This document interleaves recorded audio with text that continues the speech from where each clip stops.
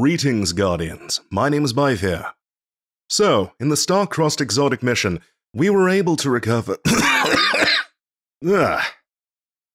Man, got something stuck in my throat for a second there. well, you can hardly blame me for having a little bit of fun there. Good morning, good afternoon, good evening, and good night, Guardians. My name is not Byf, as he's still resting and allowing his voice to recover. My name is Rindel Zivas. I'm a voice actor and audio editor who's known predominantly for work on the Guardians of Lore and Destiny Lore Audiophile podcasts, both of which you can find on iTunes, Spotify, or really just about any service you get podcasts from. That said, if you've been watching Byf's content for long enough, you might notice that this isn't my first time on the channel. I lent my vocal and editing talents to bring Yul, the honest worm, to life for Dynasty. I am Yul, the honest worm. It's an honor to have been involved in what is arguably the most ambitious fan project in Destiny's history, and I'm delighted to have been asked to come back again to fill in for the Lore Daddy himself. Now, because this lore covers what it does, I feel I need to make a point before we begin. There are those in the Destiny community who have jokingly referred to me as an Ahamkara, based on the sheer volume of voices that I'm able to do. Drifter, Shaxx, Zavala, Saint, Osiris, Variks, all of these spring to mind. But I can assure you, my status as a Wish Dragon is a joke. After all, Byf would never let a being of such paracausal might cover for him. Oh, audience mine.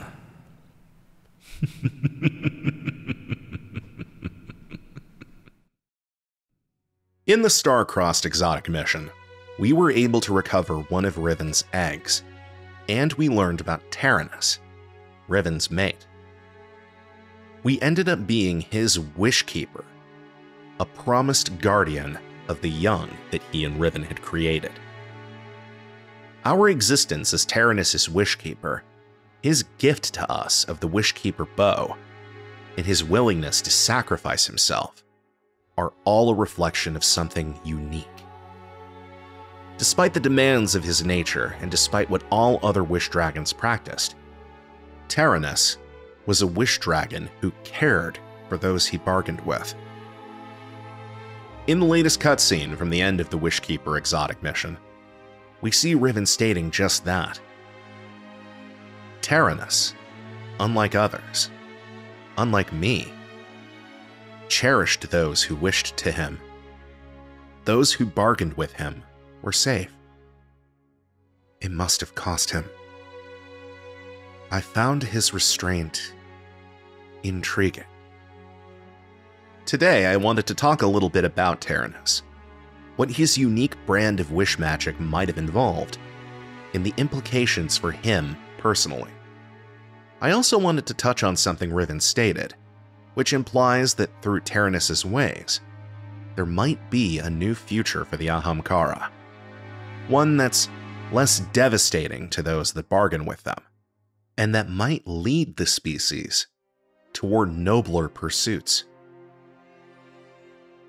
Taranis' actions were unique amongst the Ahamkara, because unlike the others, he was not predatory in nature.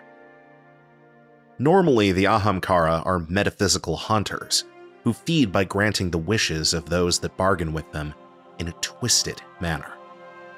Doing so allows the Ahamkara to feed on the quantum chaos between reality as it is and reality as the wisher desires. This process is naturally disadvantageous to those bargaining with the dragons, given that the Wish Dragons don't normally give exactly what is requested. They speak to our desires, but it's all done with the end of feeding themselves. It's perhaps apt to describe them as selfish creatures by nature, but I think I take the opinion of Lord Shaxx that it's simply in the nature of the Ahamkara. They cannot help who they are. predators hunt, fire burns, and Ahamkara feed. If that is the case, then perhaps Taranis is the exception that proves the rule. According to Riven, those who bargained with Taranis were safe. Taranis cared for them, and he did not cause them harm when granting their wishes. Riven makes two assertions that paint this behavior in an even more remarkable light. Firstly, she states that all wishes come at a cost, which has been proven true on numerous occasions and by more dragons than just Riven. Secondly, she states that Taranis' bargains, which kept those that bargained with him safe, must have cost him. When presented with these statements, I'm inclined to believe that Riven knows her own nature and understands what is or isn't true about the Ahamkara. But even with that in mind, I have to ask whether those things are true. When we look back into the Queensfoil Censer, we see evidence that seemingly adds more context to what Riven is saying and gives us a better idea of what this cost is. In particular, we can see a few key sentences that describe the means by which Ahamkara feed. Take a listen. Wishes. A verbally expressed desire, expressed within audible range of any Ahamkara. This wish is granted through invocation of something known as the Anthem Anathema, which appears to be a manner of subjecting reality to one's will, similar to a light bearer's ability to effect paracausality. However, little is known about how this process unfolds in practice. Henceforth, the wisher ends into a binding contract with the Ahamkara, though many Ahamkara will purposefully manipulate or misinterpret the parameters of this contract to draw greater nourishment from it often causing calamity to the wisher. This passage indicates that twisting the wish isn't specifically what grants nourishment to the Ahamkara. The act of granting the wish is what nourishes them. Twisting the wish simply draws a greater degree of nourishment from the wish. But this excerpt makes it seem like it's not necessary. A wish is enriched if it's twisted, but the twisting itself is not the source of its nourishment. Perhaps the cost that Riven is referring to is a sort of opportunity cost. Hypothetically, let's say that Taranis could have grown five times stronger if he twisted each wish he granted. But instead, he didn't. So he's now only three times stronger. Something like that. Those numbers are, of course, arbitrary. We have no way of quantifying exactly how much power is actually gained from granting each wish. Regardless, this entire pattern of behavior and a better understanding of how the Wish Dragons use the Anthem Anathema shows us that perhaps the Ahamkara do not need to follow their nature and twist their bargains.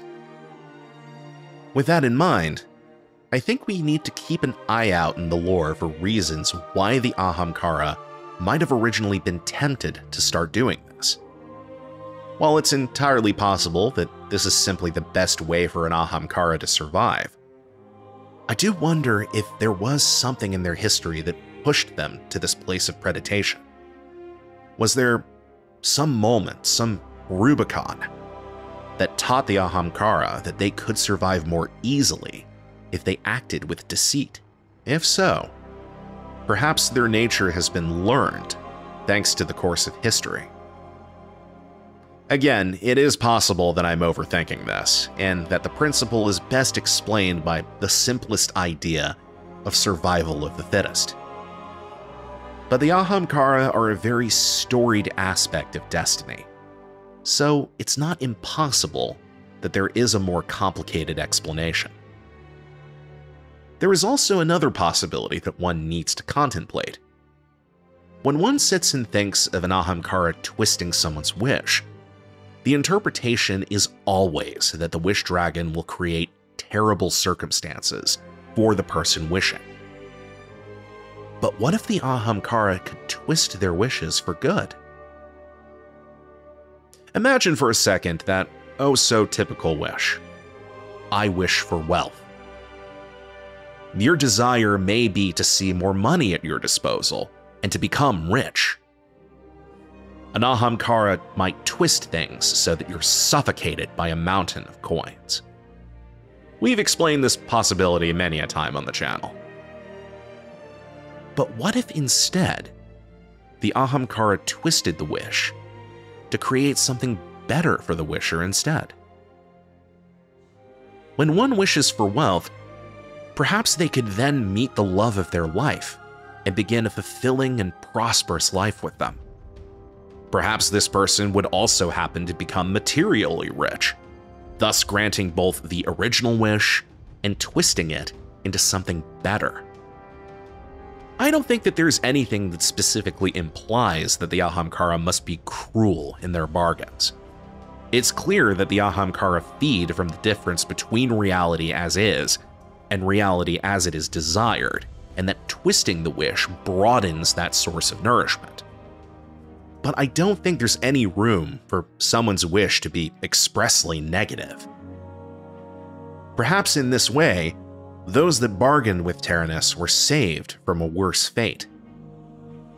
Perhaps in this way, future wishers could be saved if they should make wishes of Riven's children. But for a moment, it seems that this was a future that Riven witnessed.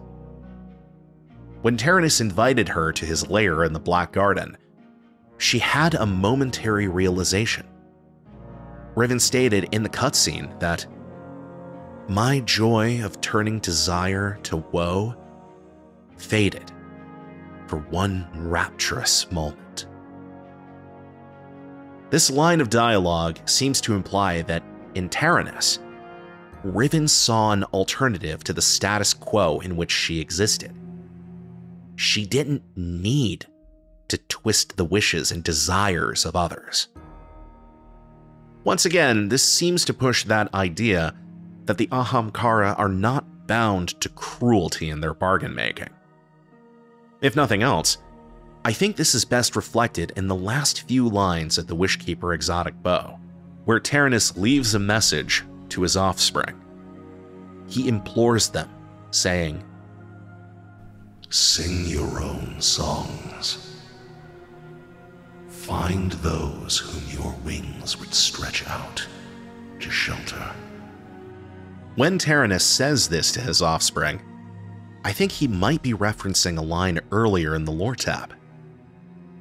You will not hear our bones sing in dreams. You will not shelter under our wings. You will have to remember for yourselves. I think in this moment, Taranis is encouraging his offspring to follow his path as they discover more about themselves. To shelter others beneath their wings and to grant wishes that will keep their wishers safe.